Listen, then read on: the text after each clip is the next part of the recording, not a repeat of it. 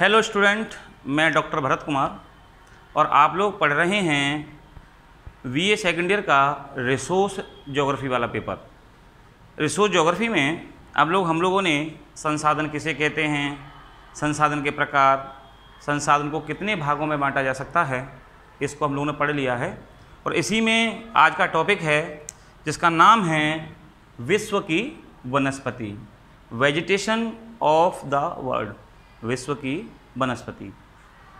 वनस्पति का अभिप्राय है कि धरातल के ऊपर मिलने वाले वे सभी पेड़ पौधे जो छोटे से लेकर कर बड़े तक होते हैं, उन्हें वनस्पति कहा जाता है और वनस्पति भी एक संसाधन कहलाती है।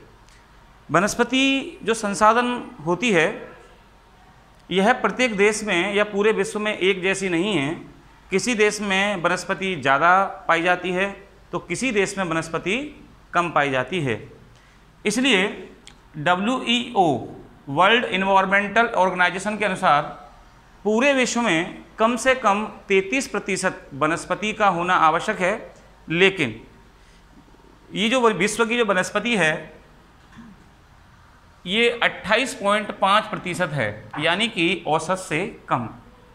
तो ऐसा नहीं है कि प्रत्येक देश की 28.5 है, किसी देश की कम है तो किसी देश की ज़्यादा है।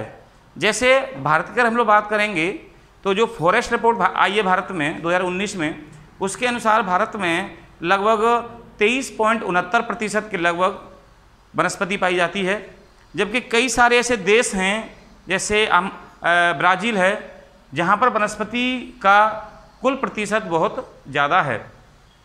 लेकिन ये वनस्पति कहीं कम तो कहीं ज़्यादा क्यों हैं? इसको प्रभावित करने वाले कारण होते हैं। इसको हम लोग देखेंगे कि वनस्पति को प्रभावित करने वाले कारण कौन कौन से होते हैं। हम लोग जानते हैं कि वनस्पति को प्रभावित करने वाले दो ही कारण होते हैं। इसमें एक तो है भौतिक या प्राकृतिक कारण और दूसरा होता है मानवीय कारण। अब पहले हम लोग बात करेंगे भौतिक के बारे में या फ़िज़िकल फैक्टर के बारे में कि भौतिक कारक कौन से होते हैं। तो ऐसे कारक जो प्रकृति द्वारा बनाए जाते हैं, उन्हें भौतिक कार्ड या फ़िज़िकल फैक्टर कहा जाता है। इस भौतिक कार्ड के अंतर्गत यहाँ किसी देश की स्थिति, वहाँ की जलवायु, वहाँ की मिट्टी, वहाँ की वर्षा, वहाँ की जल की उपलब्धता, ये सभी कार्ड वनस्पति को प्रभावित करते हैं। जैसे अगर किसी देश की मिट्टी उपजाऊ है, वहाँ पर वर्षा भी ज़्यादा होती है तो वहाँ पर ज़्यादा मात्रा वनस्पति मिलेगी और वहाँ पर कुल क्षेत्रफल पे वनस्पति का प्रतिशत भी ज़्यादा होगा। इसलिए भौतिक कारण मुख्य रूप से इसको वनस्पति को प्रभावित करते हैं। इसके अलावा एक होते हैं मानवीय कारण। मानवीय कारण मतलब होता है कि मानव भी पेड़ पौधों को या वनस्पति को प्रभावित करता है। अगर किसी देश में मानव जागरूक है तो वह वनस्पति को ज़्यादा हिरास या नुकसान नहीं करेगा। लेकिन अगर उस देश का मानव जागरूक नहीं है और अपने लालच में आकर के उद्योग धंधों को बढ़ावा देने के लिए या खेती को बढ़ावा देने के लिए पेड़ों को काट देता है तो उस देश में वनस्पति का जो प्रतिशत है वो काफ़ी कम हो जाएगा। कहने का मतलब ये है कि मानव की जो चेतना होती है, जागरूकता होती है, ये भी क्या करती है? वनस्पति को प्रभावित करती है। तो वनस्पति को प्रभावित करने वाले दो ही कारण होते हैं। एक तो होता है भौतिक कारण और एक होता है मानवीय कारण। अब हम लोग देखेंगे प्राकृतिक वनस्पति के प्रकार। Types of natural vegetation of the world यानी विश्व के संदर्भ में वनस्पति कितने प्रकार की होती है? तो मैं आपको बता दूँ कि पूरे विश्व में जो वनस्पति पाई जाती है, उसे आठ मुख्य भागों में बांट दिया गया है। पहला है ऊष कटबंधीय सदाबहार वन, दूसरा है मानसूनी पतझड़ वन, तीसरा है ऊष कटबंधीय सवाना वनस्पति, चौथा है भूमध्य सागरीय वनस्पति, पांचवा है मध्य अच्छांशीय या शीतोष्ण वनस्पति या इसको घास के मैदान भी कहते हैं। छठवां है टुंड्रा वनस्पति, सातवां है मरुस्थलीय वनस्पति और आठवां है पर्वतीय वनस्पति। अब हम लोग एक एक की चर्चा करेंगे। तो पहले हम लोग बात करेंगे यहाँ पे ऊष कटबंधीय सदाबहार वन। इन्हें एवरी ग्रीन फॉरेस्ट कहा जाता है। एवरी ग्रीन, यानी सदैव हरे भरे जो वन रहते हैं, उनको सदाबहार वन के कहा जाता है। लेकिन ये जो वन होते हैं, वो हर जगह नहीं होते हैं। ये कहाँ होते हैं? जहाँ पर वर्षाई मात्रा कितनी होनी चाहिए? 200 सेंटीमीटर से ज़्यादा। तो ऐसे क्षेत्र जहाँ पर वर्षा की मात्रा 200 सेंटीमीटर से ज़्यादा होती है, वहाँ पर ये उष्णकटिबंधीय सदाबहार वन पाए जाते हैं। अगर हम लोग ग्लोब पर देखें, अगर मैं कहूँ ये ग्लोब है और ग्लोब के बीच में ये भूमध्य रेखा है तो भूमध्य रेखा के ऊपर 10 डिग्री, ज़ीरो डिग्री से 10 डिग्री नॉर्थ में और 10 डिग्री साउथ में, ये जो एरिया है भूमध्य रेखा से 10 डिग्री उत्तर और 10 डिग्री दक्षिण वाले यहाँ पर ये एवरी ग्रीन फॉरेस्ट पाए जाते हैं। यहाँ पर बहुत ज़्यादा मात्रा में वनस्पति उगती है, इसीलिए इस वनस्पति की बेल्ट को विश्व का फेफड़ा के नाम से भी जानते हैं। विश्व का फेफड़ा इसलिए कहा जाता है क्योंकि यहाँ ज़्यादा पेड़ पौधे होने से ऑक्सीजन ज़्यादा मिलती है और ऑक्सीजन ज़्यादा मिलती है तो लोगों को ऑक्सीजन मिलने से उनके फेफड़े अच्छे से काम करते हैं। इसीलिए सदाबहार वनों को विश्व का फेफड़ा भी कहा गया है। इसी में अगला है मानसूनी वन या मानसूनी पतझड़ वन। इनकी पहचान ये होती है कि इसमें वे पेड़ पौधे आते हैं जो ऋतु आगमन पर अपनी पत्तियों को लीप्स को गिरा देते हैं और उन पर नई पत्तियाँ आती हैं। ये वैसे अधिकांश देशों में प्रतिशत के आधार पर ये मानसूनी वन फैले हुए हैं। ये उन स्थानों पर होते हैं जहाँ वर्षा की मात्रा 100 सेंटीमीटर से 200 सेंटीमीटर के मध्य में होती है। खास करके दक्षिण एशिया मुख्य रूप से दक्षिण पूर्वी एशिया में ऐसे ही मानसून वनस्पति अधिकांशतः देखने को मिलती है। इसी में अगला है उष्ण कटबंधीय सवाना वनस्पति, यानी ऐसा क्षेत्र जहाँ पर मुख्य रूप से पतझड़ वनों का और घास का मिक्सचर होता है, उन क्षेत्रों में सवाना वनस्पति देखने को मिलती है। और ये जो सवाना वनस्पति जो पाई जाती है, वह पचहत्तर से डेढ़ सौ सेंटीमीटर वर्षा वाले क्षेत्रों में देखने को मिलती है। अधिकांशतः अफ्रीका के क्षेत्रों में, एशिया के क्षेत्रों में यह वनस्पति अधिकांशतः मात्रा में पाई जाती है। इसी में अगला है भूमध्य सागरीय वनस्पति।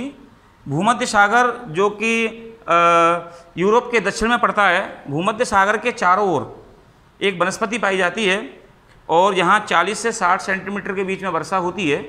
इस वनस्पति को भूमध्य सागरीय वनस्पति भी कहते हैं और यह वनस्पति अफ्रीका के उत्तर में और यूरोप के दक्षिण में पाई जाती है। इससे अगली है मध्यक्षांशीय या शीतोष्ण वनस्पति।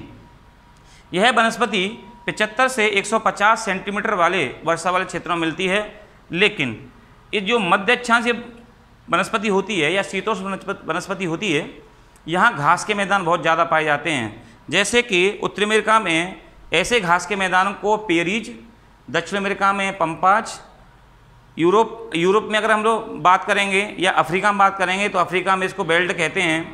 इनको यूरोप में स्टेपीज कहा जाता है, जबकि ऑस्ट्रेलिया में इनको अलग। तो मुख्य रूप से अगर हम लोग बात करेंगे तो अलग अलग प्रकार से ये घास के मैदान पाए जाते हैं। इसी में अगला है टुंड्रा वनस्पति। टुंड्रा वनस्पति वह वनस्पति होती है जो ध्रुवों के निकट पाई जाती है, जहाँ पर ज़्यादा मात्रा में हिमपात होता है। वहाँ पे यह टुंड्रा वनस्पति देखने को मिलती है, लेकिन यह वनस्पति सूक्ष्म रूप में देखने को मिलती है। यहाँ लाइकेन, काई छोटे छोटे रूप में देखने को मिलते हैं। या फिर हम ये कह सकते हैं कि गर्मियों के मौसम में जब तापमान बढ़ जाता है ध्रुवों के बाद थोड़ा सा तो वहाँ घास उगाती है, जिसे टुंड्रा वनस्पति कहते हैं। इसी में अगला है मरुस्थली वनस्पति, डिजर्ट वेजिटेशन। मरुस्थली वनस्पति वह वनस्पति होती है, जहाँ 50 सेंटीमीटर से कम वर्षा होती है, वहाँ पर कटीली झाड़ियाँ अधिकांशतः देखने को मिलती हैं और ऐसी वनस्पति देखने को मिलती है, जिनमें पत्तियाँ नहीं होती हैं, कांटे होते हैं। इसका एक लॉजिक ये भी है या साइंटिफिक कारण ये भी है कि राजस्थान में तापमान ज़्यादा होने के कारण या जहाँ जहाँ मरुस्थल होते हैं, वहाँ पर तापमान ज़्यादा होने के कारण वनस्पति जो होती है उसमें पत्तियाँ कम पाई जाती हैं, क्योंकि जब पत्तियाँ होती हैं तो पत्तियाँ प्रकाश से गर्म हो जाती हैं, जिससे जल वाष्पित होता है। और वहाँ पहले से ऑलरेडी पानी कमी होती है तो जो पौधे होते हैं, वो विकसित नहीं हो पाते हैं, इसलिए केवल कांटे होते हैं। ये मरुस्थली जो वनस्पति होती है, विश्व के जितने मरुस्थल पाए जाते हैं, जैसे भारत में थार का मरुस्थल है, अफ्रीका में सहारा मरुस्थल है, कालाहारी मरुस्थल है, ऑस्ट्रेलिया का मरुस्थल है, आपका और आटाकामा मरुस्थल है तो बहुत सारे मरुस्थल हैं जहाँ पर ये वनस्पति देखने को मिलती है। और अंत में है पर्वतीय वनस्पति माउंटेन वेजिटेशन पर्वतीय वनस्पति एक ऐसी वनस्पति होती है, जिसमें अगर ज़ीरो यानी कि नीचे धरातल से पहाड़ के अगर ऊपर चढ़ा जाए तो हर एक 500 या हज़ार मीटर के बाद उस वनस्पति का जो परिवर्तन है वो होता रहता है। जैसे मान के चलें कि ये कोई पहाड़ है, और पहाड़ पे यहाँ पे जो नीचे अगर धरातल पर देखेंगे तो हो सकता है यहाँ पे मानसूनी वन पाए जाते हों। लेकिन ऊपर जाने पर आप जानते होंगे कि तापमान कम होता जाता है और तापमान कम होता जाता है तो वनस्पति भी कैसी होती जाती है, बदलती चली जाती है। तो यहाँ पर हो सकता है कि मानसूनी वन हो या हो सकता है शीतोष्ण वन हो। ऊपर जाने पर अगर वर्षा की मात्रा अच्छी प्राप्त होती है तो हो सकता है सदाबहार वन हो।